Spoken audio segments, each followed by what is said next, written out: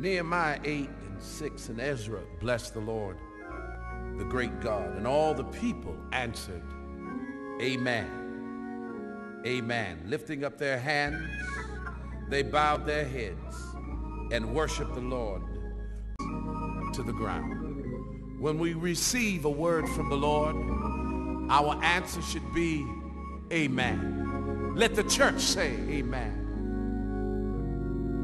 Let the church say amen. Let the church say amen. God has spoken. So let the church say amen. Yeah, yeah. Let the church let him say amen. If you believe the word, let the whole church say amen. God has spoken. So let the church say amen. Lift your hands, lift your hands.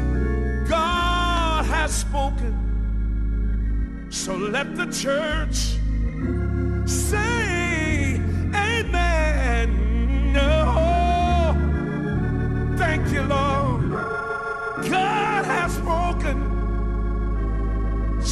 let the church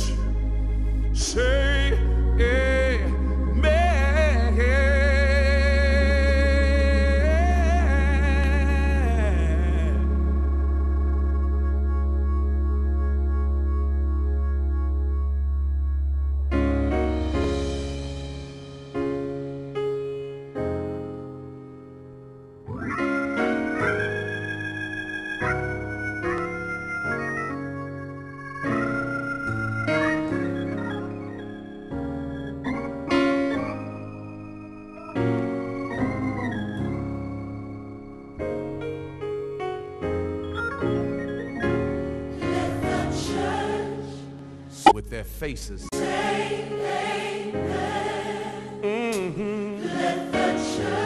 Everybody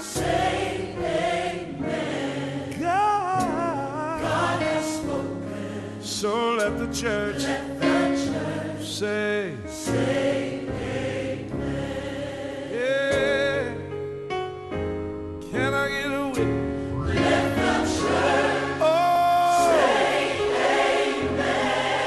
What his plans are, to what his word says.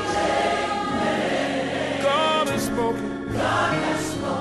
Let the church say, Amen. amen. Ooh, yeah, yeah. Make this your response to whatever he said.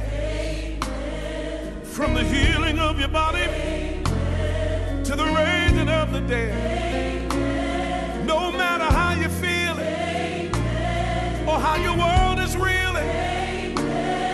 Battle on through the night. Cause you're gonna win the fight. Even in the valley. Or standing at your Red Sea.